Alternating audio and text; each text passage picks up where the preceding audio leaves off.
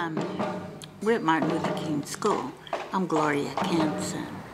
I think back often about how I felt when I was a high school teacher and it was my first year. I wasn't familiar with the curriculum. Didn't really have a lot of time to plan in using the curriculum. I was just kind of like thrown in helter-skelter. You sink or swim. Yeah, so to be a first-year teacher, um, and having had my teacher training several years ago and have and I've been subbing for several years, um, it's really a different experience to um, the whole range of things, the responsibilities. So everything from prepping every class, getting ahead in your curriculum, brand new curriculum to the district, um, to uh, assessments and setting up your classroom. First, being a first year teacher, just simply not knowing the the day to day of the school, trying to get that, and then establishing a day to day in the classroom, as well as not knowing what resources are available in the school establishing classroom management routines that I stick with. I've tried several things and sometimes they don't work and so I'll want to change them and then the kids aren't used to it because well they're, they're just not used to change. Then it's just you. and I think you're trying to balance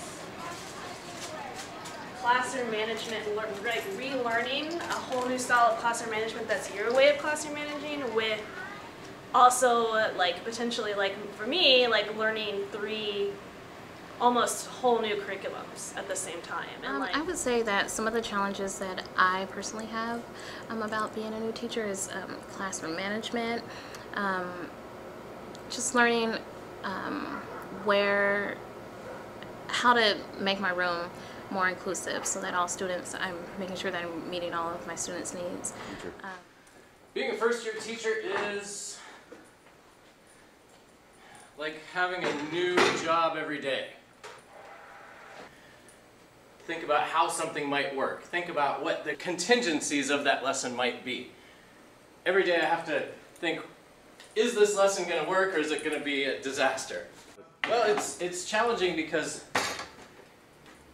I haven't done it before. And it's challenging because I haven't taught it before, even if I know the material. I, I might not know exactly how to teach it. I think but now there's a big difference. Now people have assistance. and that assistance here at Martin Luther King School is valuable.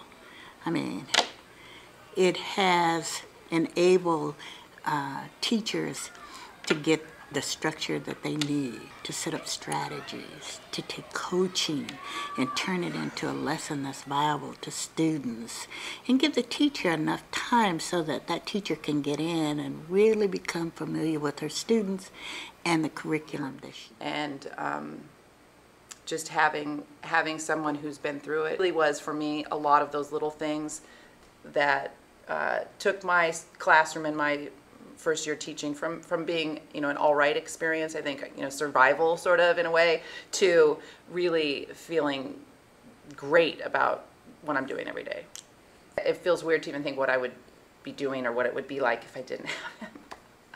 Hmm? The structure, so the structure of the five minute warm up with a timer, with um, the, the the way that he just sort of talks about like you know, walking around and pumping up the kids that are like getting the work done and sort of having this really positive spin on it, but yet there's real accountability to it. So that sort of finesse that I think only a really experienced teacher sort of understands. Um, but I think that the very beginning of having that tool of setting the tone in the first five minutes has made every other step that I've done that much better. I, I mean, in my eighth grade class, I really have 100% engagement. Um, I every kid is is you know to whatever level they can be, they are they are engaged in the class because that first five minutes and sort of setting that tone and having some sort of consequences around that that are about the student taking responsibility for their work. Um, those kids come in and they are they, they know what to expect and they get to work.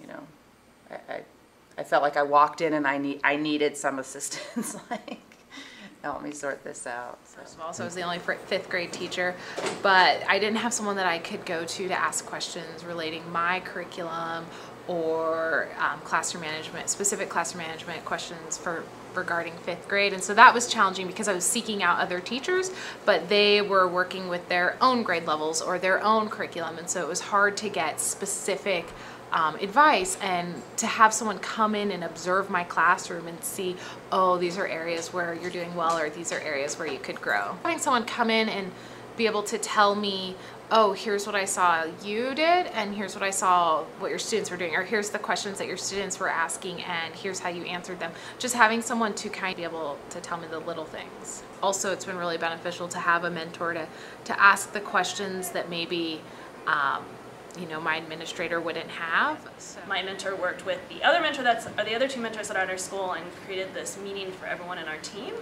and um, it was really useful because now we're all having conversations together about um, our expectations and how to make those sort of cohesive across the like all of the classes and how to work together more effectively as a team and that's also helped me sort of think about my own classroom management ideas and how I want to what I want to change what I don't want to change um, and I think that was sort of like a really useful moment for especially the the fact that we have like three new teachers and now we're gonna have I don't know if the new person they hire is gonna be brand new teacher, but we're gonna have basically an entire staff that this is their first year at our school. Um, so I think those meetings are really, really helpful because they help us all get on the same page and it makes it more clear for the kids. They're not going from class to class and being like, oh, in this class I'm expected to do this, but in this class the expect expectations look totally different.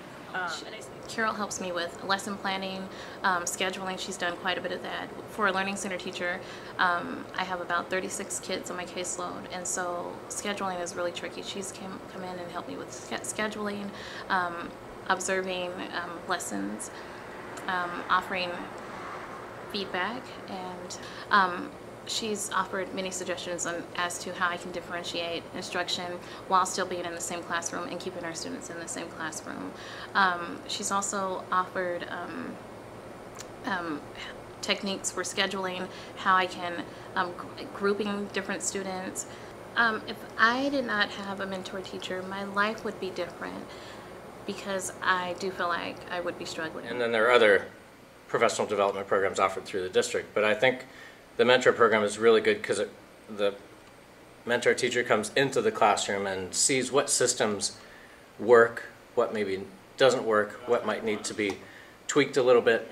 And they've been through these same lessons and they can give very helpful tips on, on how to teach them and how to manage classroom uh, dynamics during that time. Uh, he really, to me, drove home the idea of when someone's doing something right, pump them up. Yeah, that's great. You got it. Yes, all right. And and the kids get excited about that, and they like to be praised for doing what they're supposed to do. Um, that wasn't something that I thought of myself, but it works. So I like that. Uh, Gage has has really taught me to break up the period into different chunks, and that's really helpful because attention span of a middle schooler isn't that huge. So um, you have your warm-up time, you have your instruction time, which can't be too long, Gage taught me that, or the attention starts to trail off. Move on to an activity and then bring it together with a closure. And that structure has been helpful. Oreo cookies crushed up on the Well, congratulations, you deserve it. She does. She's worked very hard. So my That's eighth so grade sweet. class had like eight kids that have improved their grades like two, you know, like from a D to an A. Oh or, man. I know. Oh, that is such Super great, awesome. great news. Yeah. I'm so happy. Yeah. You. Thank you. Thank you. Yeah. I'm so happy for you. Enjoy the rest of your day, would you? Yeah, yeah. I definitely will. You too. See ya. Yeah.